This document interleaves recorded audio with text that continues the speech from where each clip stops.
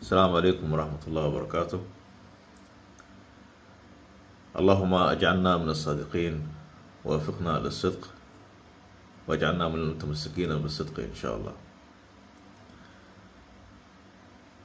المسلم لا يكذب. هذا هو الأساس. ومن يكذب فهو لا يكون يتماشى مع التعليم الإسلامي. تحت أي ظرف سواء في وضع السلم وفي وضع النزاع وحتى في المواقف التي تكون ضدك. يجب على الإنسان أنه يلتزم بالصدق.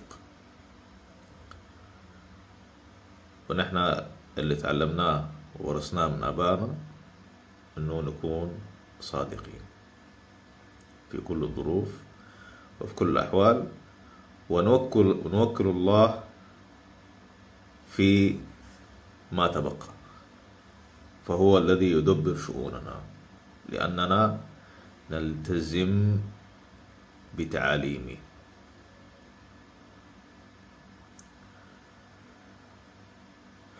فأنا الآن حتكلم عن مختصر للتجارب والمواقف اللي صارت معي. واللي خلتني الآن أعتزم الخروج من المجتمع الحبشي بشكل عام والمجتمع الإريتري بشكل خاص. خروج لا رجعة فيه ولا عودة فيه.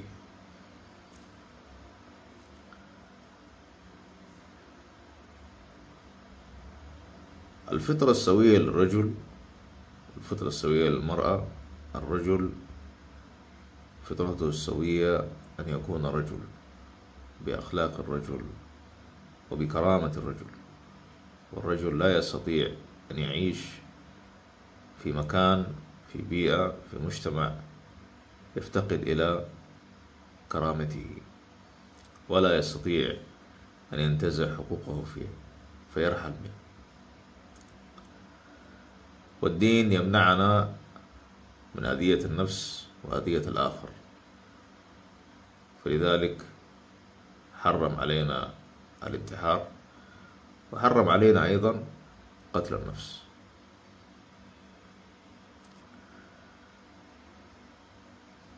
في المقابل المرأة يجب أن تكون مرأة. المرأة هي الحنان هي الاحتواء.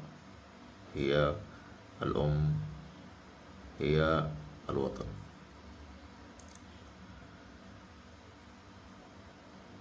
والمرأة عندما تخرج عن فطرة المرأة وتكون مسترجلة تحول الحياة جحيم. ويا ليت أنها عملت. لو كان من من حر مالها الذي اكتسبته كان يمكن يقال أنها تمارس حقوقها. ولكنها تفعل ذلك بمال زوجها زوجها الذي يكد ويتعب ويواجه صعوبات الحياة ومرارة العمل التي لا تعرف عنه أي شيء. ليجازى في المقابل بامرأة متسلطة عنيدة متكبرة. تقود أبناءه ضده وتظن أن أبناءها ملك لها وعبيد تسخرهم في سعادتها وخدمتها. وهي تناسد أن هذا رزق منعه الله عن غيرها ورزقها به أمانة أمانة أمانة في عهدها لكي تتركهم في شأنهم. في سن البلوغ. وليس لتستعبدهم حتى تنفق مثل الجيفة وينتهي بها الأمر ويحمد الله ويشكر الله الجميع على زوالها. وإن كان وجود مثل هذه المرأة واقع فهو له مسببات. وهي وإن كانت مشاهدة فهي نتائج. نتائج للاستبداد.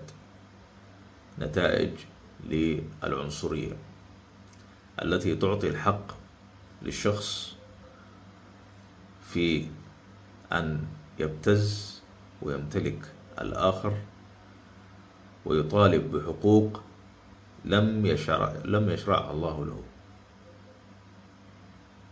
فيبدأ الأمر في أن يقول هذه الأرض أرضي هذا المكان مكاني. وهكذا. ونتيجة لذلك تجد المرأة في هذا المجتمع أيضا تمتلك أبنائها مع أنهم هم حر مال الزوج. مصداقيا لقول الرسول صلى الله عليه وسلم أنت ومالك لأبيك. فهي من باب آه، النهج الأموي في امتلاك واستعباد الناس يركزون على الأحاديث والمرويات الدينية التي تعزز حقوق المرأة وحقوقها أنها تساوي أربع أضعاف الرجل ويتناسوا أنها عندما تكون أمام القضاء فهي نصف رجل وفي الوراثة كذلك وضعها مختلف لماذا؟ لأن المرأة هي مرأة والرجل هو رجل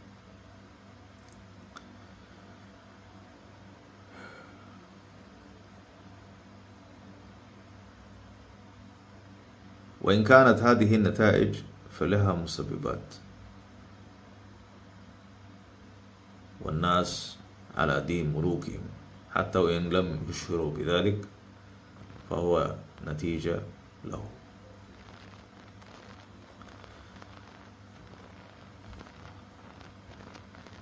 الأضرار التي تحصل من جراء هذا الواقع المرير هو استنزاف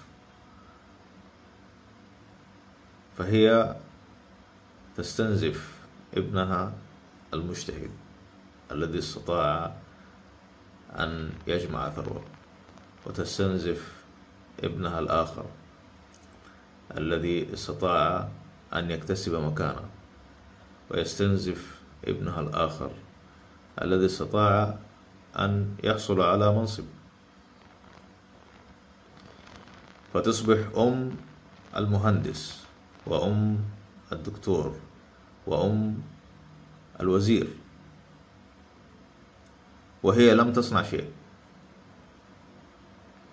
هي لم تصنع مجهود يذكر.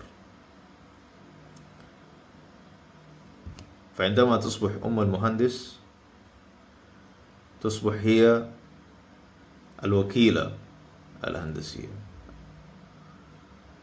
عندما تصبح أم الوزير تصبح هي التي يقود الوزارة. وعندما تصبح أم التاجر فهي تصبح ثرية من غير عمل ومن غير جهد ومن غير الخوض في المخاطر. وهذا لا يحق لها ليس من حقها أن تكون بهذا الشيء. وإن كان بطيب نفس من الأبناء فهذا هذا من البر. ولكن إن كان باحتيال منها وبتسليط المجتمع على أبنائها وابتزازهم واستغلال موقعها الاجتماعي في الضرب في مخدرات ومنجزات الأبناء هذا لا يقره لا دين ولا شرع.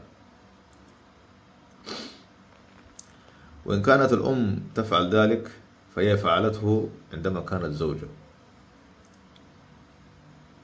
هي فعلته عندما كانت زوجة واستفحل بها الوضع لتفعله وهي أم. ويستفحل بها الوضع أيضا وتفعله وهي جدة.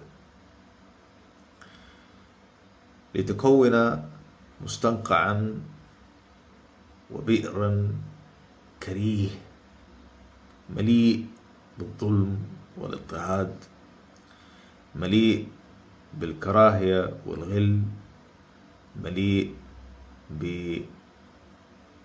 بالغبن والقهر. وهي من هي؟ هي المرأة هي الأم هي الزوجة هي الجدة هي الأخت.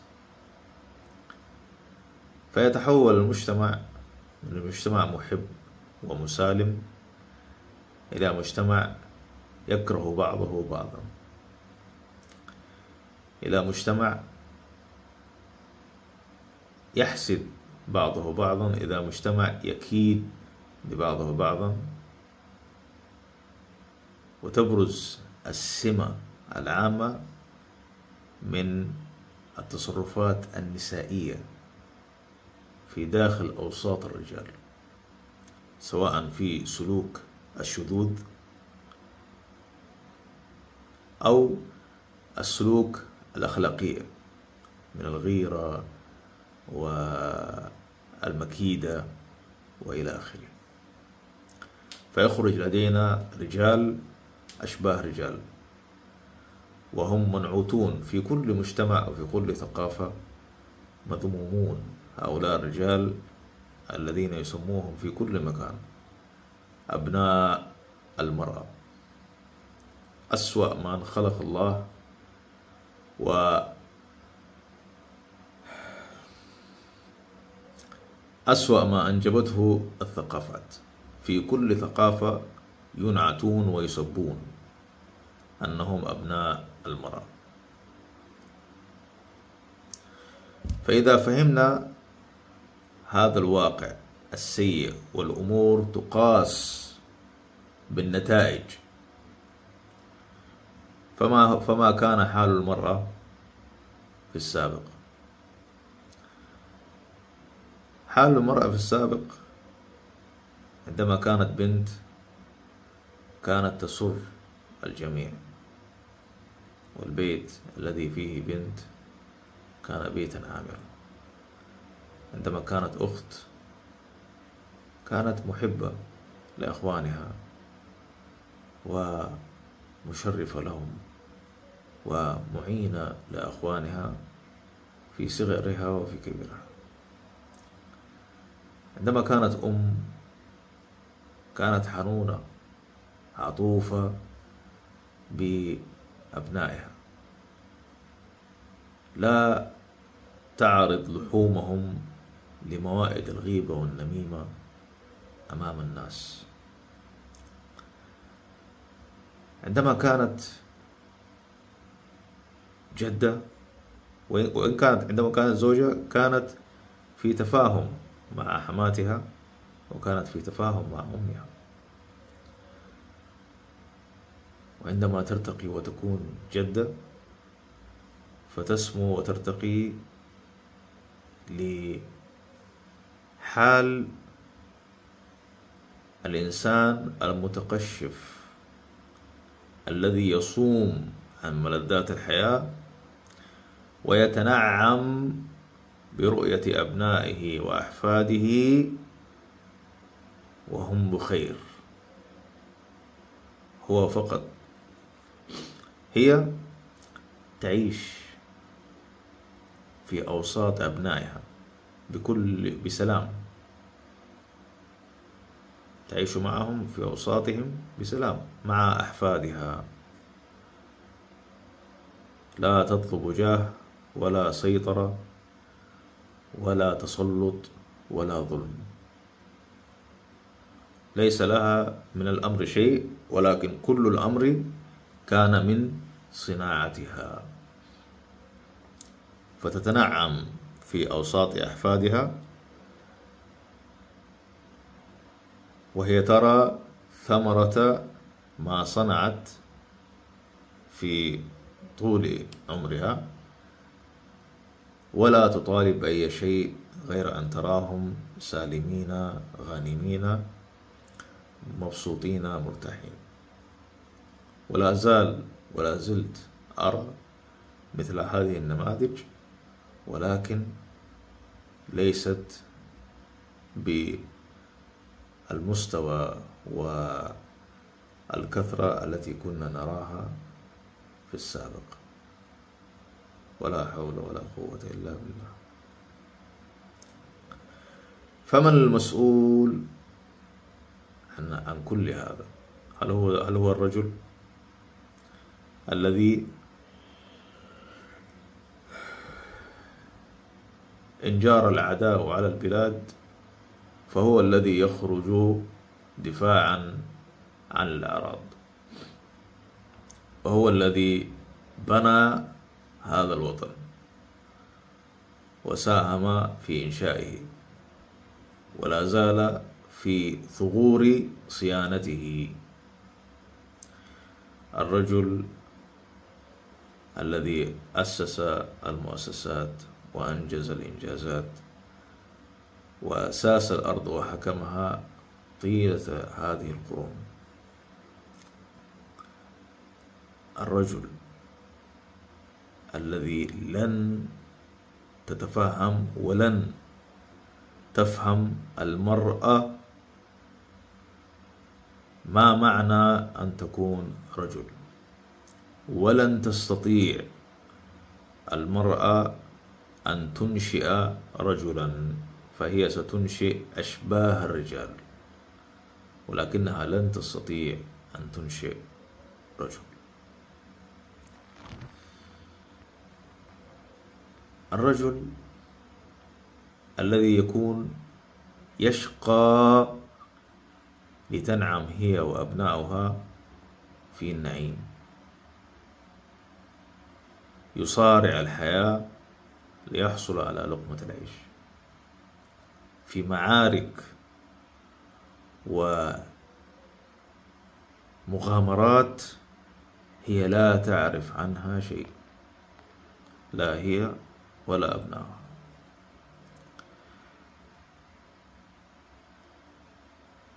هذا الرجل الذي يقوم بكل هذا الدور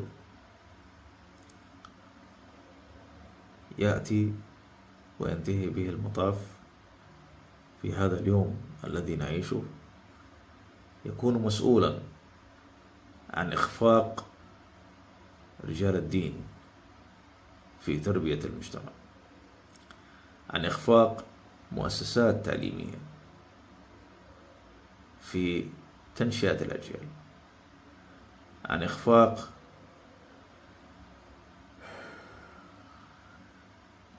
مؤسسات كانت من دورها الحفاظ على سلامة المجتمع. الحفاظ تحمل مسؤولية من وضعوا منهج المجتمع من وضعوا نظام المجتمع.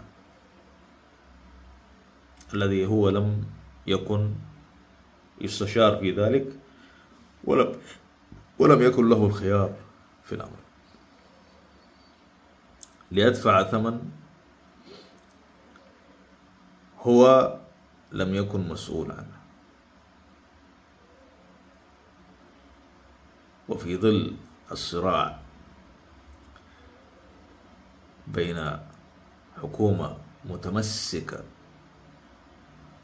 متمسكة حتى النخاع. بالكرسي ومعارضة ينهشون في مستقبل أبنائهم بالغيبة والنميمة. ففي كل هذا الواقع السيء يعيش هذا الرجل مدافعا عن نفسه أمام امرأة لا تقدر ولا تحترم. وأبناء ينشؤون على رؤية أبيهم يهان وحماة لا تكترث إلا براحة ابنتها. وأم جارت على زوجها واستعبدت أبنائها ورجل دين لا يهمه إلا أن يحقق ذاته بتطبيق الشريعة التي لم تكن ولم تصير صالحة لهذا المجتمع.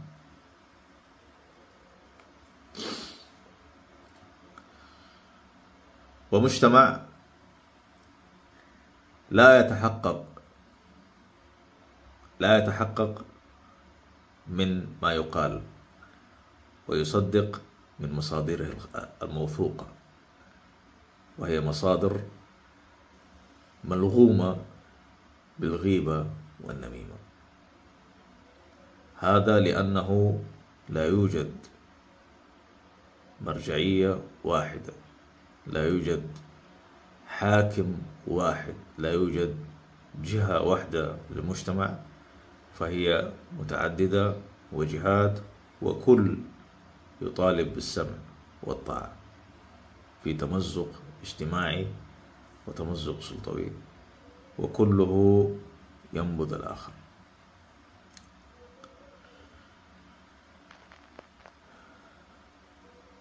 وهذا ما ينتج عنه من تكتلات ثقافية تكتلات دينية وعنصرية قومية عرقية. تحافظ على مصالحها وتحارب الغير. إن أنت معهم يكرموك وإن اختلفت معهم في شبر يحاربوك. من حيث تعلم ومن حيث لا تعلم. والكل إن كنت إنسان تبحث عن إنسانيتك تبحث عن الاستقلال الكل سيحاربك.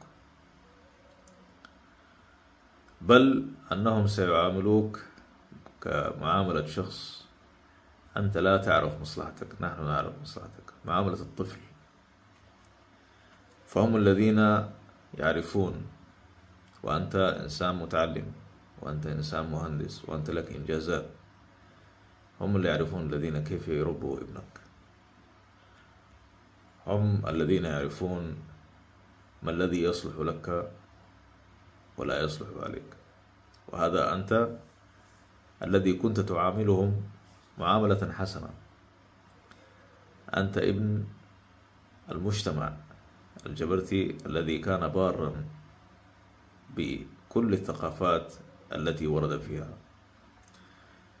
فالجبرتي عندما كان مع التكرنة أخذ بثقافتهم برا بهم وعندما كان مع التجري أخذ من ثقافتهم برا بهم وعندما كان في مع القبيلة أصبح قبليا. عندما كان مع مصر أصبح مصريا. وقس على ذلك. ليس لجوءا أو هروبا من ثقافة لا يريدها أو بحثا عن لقمة العيش لا. هذا لأن الدين يأمر بذلك. الدين يأمر بالإسلام. وكل قطر ومجتمع ومكان في هذه الأرض لهم ثقافتهم وعادتهم وتقاليدهم. التي يحافظون عليها.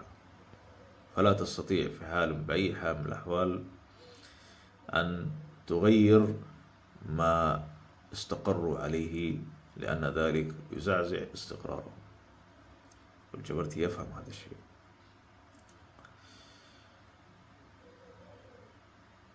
فما وإن كان تم نبذ الجبرتي في الفترة اللي راحت ما هي النتائج؟ هل تريد أن تصدر ثقافة أصيلة إلى بلد آخر وتعيش في قوقعة لا يدعم فيها أحد ولا يكون في هناك تواصل مع الآخر هل هذا الإسلام يدعو لهذا الشيء؟ بل أنتم ادعيتم أن أن السلفية هي الدين الصالح لكل زمان لكل زمان ومكان. وجنبتم ثقافتنا وجنبتم فهمنا للدين. بعد أن حملتونا مسؤولية كل النتائج التي حصلت من الدين.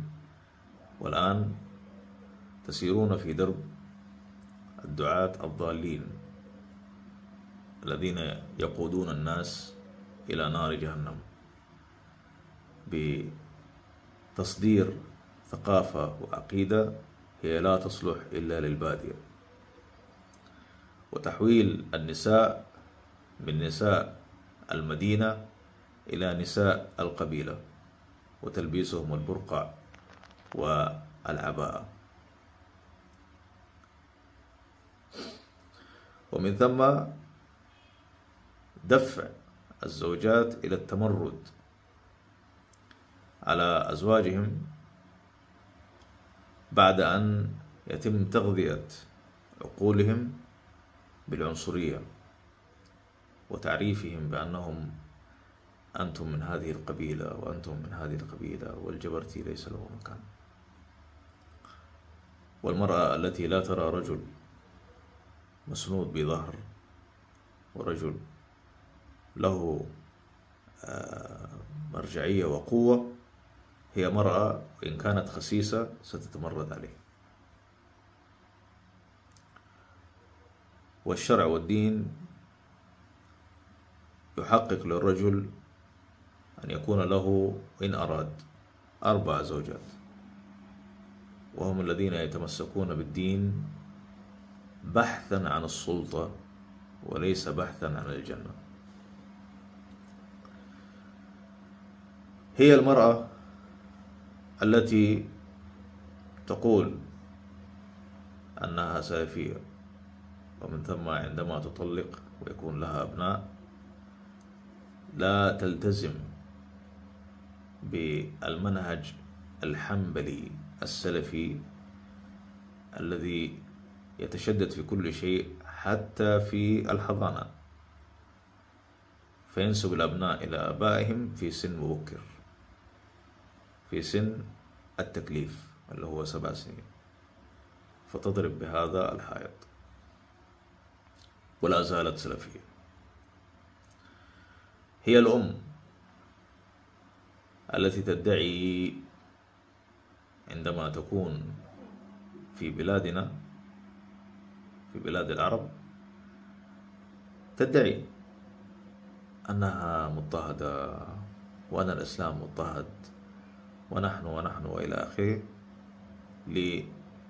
لتقتات من الفوائد التي تحصلها هناك وتغير منهجها الديني لكسب العيش. وعندما تنتهي هذه العلاقة وترحل إلى بلاد أخرى تجدها تتلون إلى لون آخر. هل هي تبحث عن الجنة؟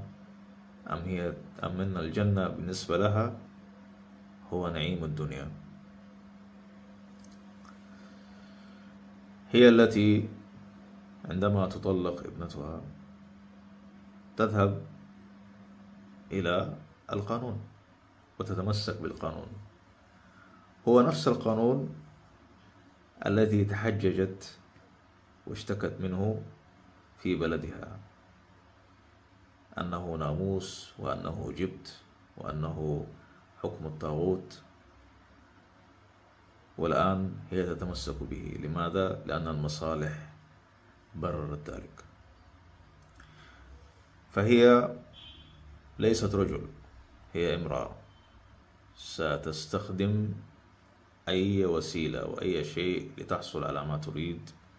وتضرب بكل الم... بكل شيء عرض الحائط لماذا؟ لأنها تولت شأن الرجال وأين الرجال؟ هذه المرأة لم تصل إلى هذه المرحلة إلا بعد أن داست على زوجها لأنها لا تثق في قراراته التي سيلتزم فيها بالصدق والأمانة. سيلتزم بها بعدم الظلم الآخر وهي لا تريد هذا الشيء. هي تريد أن تكسب وتكسب فقط. وينتهي بها المطاف أن تكون مجتمع وبيئة فاسدة.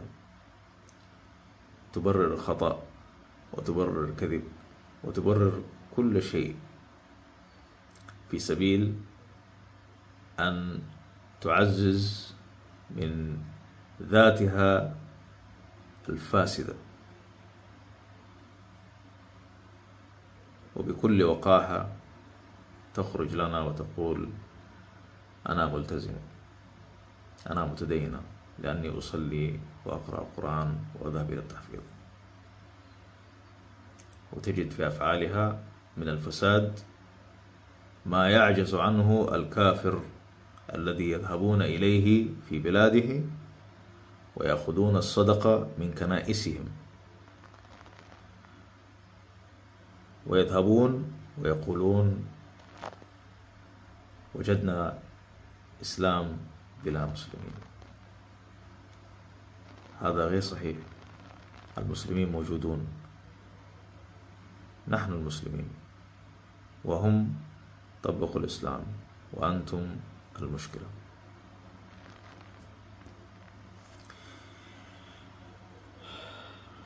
لذلك لا سبيل لأي شخص يريد الخروج من بؤرة النفاق والغيبة والنميمة ومستنقع العنصرية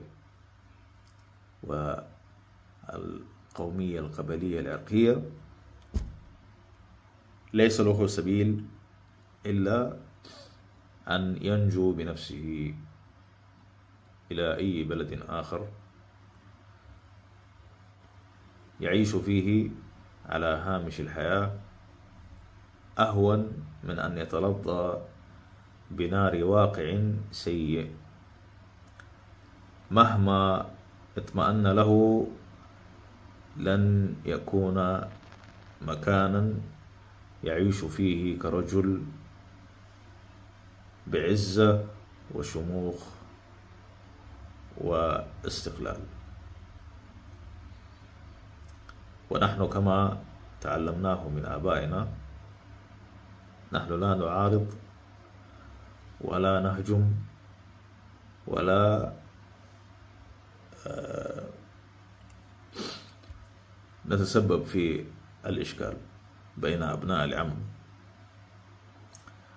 فنحن عندما نختلف أو لا يريدنا آخر بكل بساطة نرحل.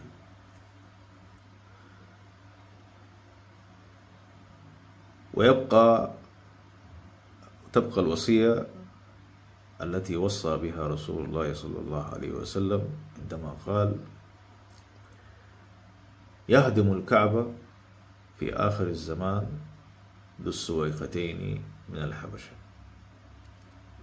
وكل المشايخ وكل مشايخ الدين إن كانوا حنبليين ولا أو سلفيين أو أشعريين أو صوفيين أو حتى علويين كلهم قالوا بذلك عن رسول الله صلى الله عليه وسلم. ونحن عندما ندرك ذلك نعرف أنه عندما تسوء الظروف في الحبشة فهناك خلل ناتج عن ظلم وهو ديدا كل بؤرة بها مشاكل هي تبدأ بالظلم ثم ينفجر الوضع ثم يستفحل حتى ترد الحقوق. وعندما ترد الحقوق تنام الفتنة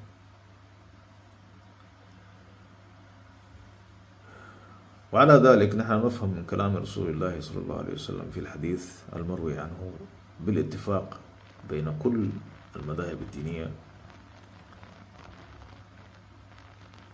أن النار التي نتلظى بها من الأحباش ما هي إلا كبت من المشاعر ومن القهر لم نكن نحن سببا فيه. ولكننا تلظينا أيضا من نفس هذه النار. فآباءنا كفروا وبدعوا وفسقوا وهذا معلوم.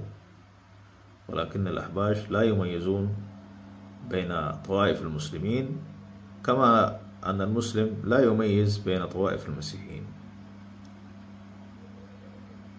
فلنا في المسيحيين أخوة ولنا في اليهود أخوة ولكننا لا نتماشى مع الصهاينة.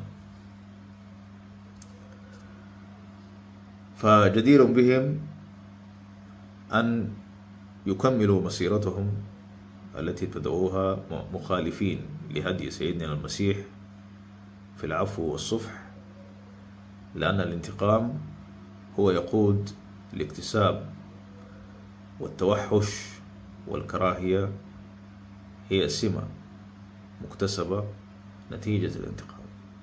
ولكن أنتم اخترتم ذلك فسيروا بارك الله فيكم واسألوا المسلمين واسألوا السلفيين عن طريق الكعبة لكي تذهبوا مع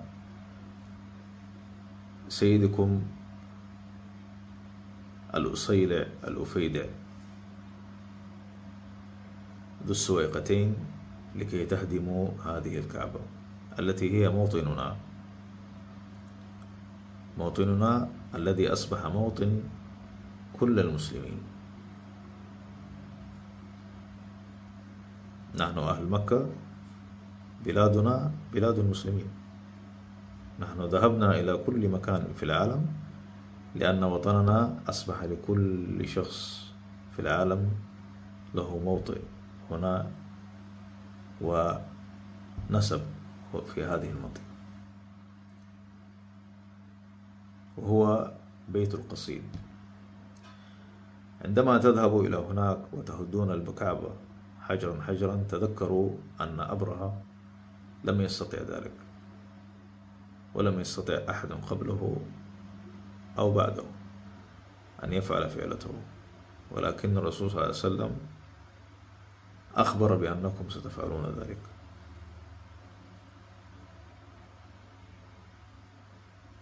وهي أحب البلاد إليه. فلماذا هذا الشيء؟ ونحن نؤمن أن المسلم أهم من هدم الكعبة نفسها. الغاية في الدين وغاية في الإسلام أن يعيش المسلم بكرامة واحترام في بيئة مليئة بالسلام والمحبة. وعندما يغيب هذا الشيء فالخلل ليس في الإسلام وإنما في الدين الذي صدر للآخرين. السلام عليكم ورحمة الله.